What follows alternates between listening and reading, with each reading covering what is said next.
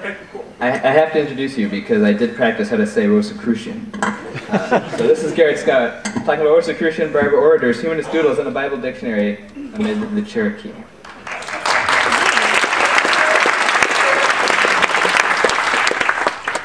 Okay, so good evening. I am in fact Garrett Scott, and I'm an antiquarian bookseller, and I've got a warehouse office in the old bottle garage behind Morgan and York, uh, the old Big Ten party store.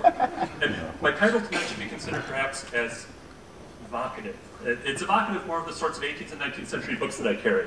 And certainly the five-minute limit, when taken with some of the sterner theological dictates I've absorbed from the books I've handled, uh, allows me insufficient time to plumb the depths of the African-American barber orator, abolitionist, and spiritualist sex mystic Paschal Beverly Randolph, nor to dwell on the implicit ironies of the Cherokee mission copy of the 1811 Dictionary of the Holy Bible that once passed through my shop, nor on the cold comfort that the Cherokee must have taken in the tales of the lost tribe of Israel.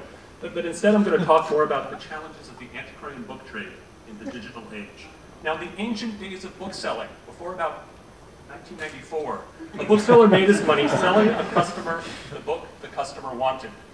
That seems a pretty straightforward way to do business. By relying on a combination of interesting or extensive stock, a network of book scouts, auctions, and the regular tides of printed bookseller catalogs that washed across his desk, a bookseller might, from among all of this, locate that title that a customer without these resources might otherwise despair of finding. Now, I'm going to digress just a moment to note that even in these golden days of bookselling, old-time Ohio bookseller Ernie Wessen, whose catalogs are up here, he supplemented his income with a patent medicine business.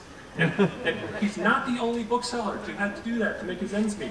But the 18th century chapman Henry Lemoine also peddled, in addition to his pamphlets, a, a, a nostrum known as bug water, uh, which was no doubt, you know, the very name itself, a tonic to the afflicted.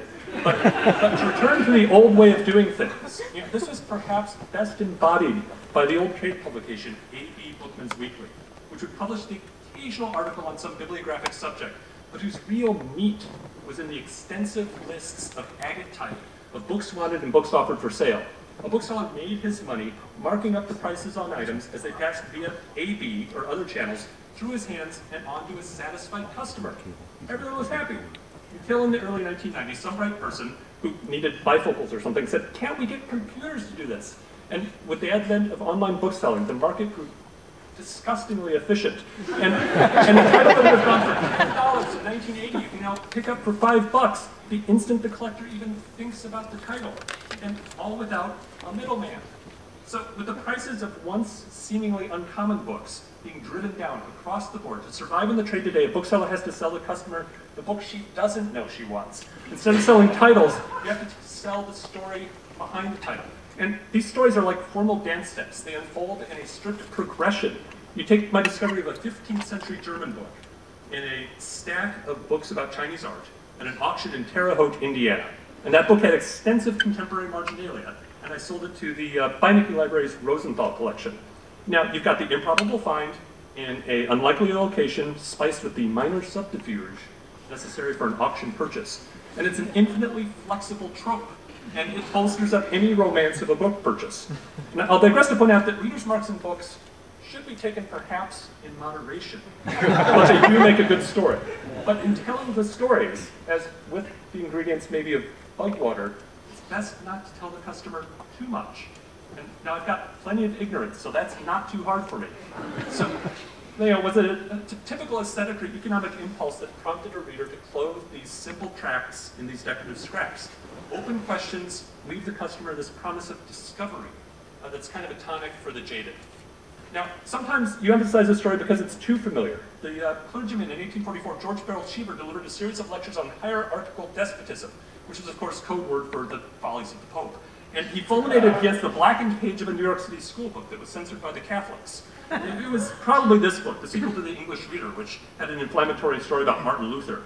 And you know, this sparked the Bible riots in Philadelphia of 1844, where the question was, what kind of Bible are we going to use to teach our children in the public schools? And these kind of passions are suggested by the making and the marring of books and the compelling reasons that the physical book and the way that readers react to the book are still relevant today. Now, so where will bookselling go once all the texts are digitized and keyword searches are the norm? You know, there should still be some room for surprising discoveries, compelling stories about the physical book and its readers. you know, the once cumbersome process of digging out these stories, you we could streamline it. We could get some sort of bibliopandora that's going to push otherwise unknown books into my lap. And, you know, I don't necessarily relish having sort of a Bloomberg, you know, instead of a Bloomsbury kind of bookshop, but I still hope that I'm going to get those opportunities to tell those stories that give you that chance to look with a wild surmise upon that bibliophilic peak in Darien.